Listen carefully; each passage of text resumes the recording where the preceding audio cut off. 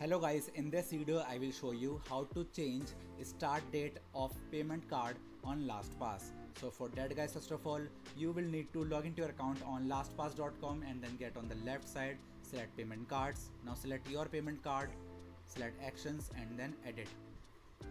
Now you need to change the start date by selecting the month and then date. After that select on the save button and that's how you guys can successfully change your start date of payment card on LastPass. So that's it for the video now. If you find this video helpful then make sure to share this video with your family and friends and also subscribe to our channel for more such content and thanks for watch and thanks for watching.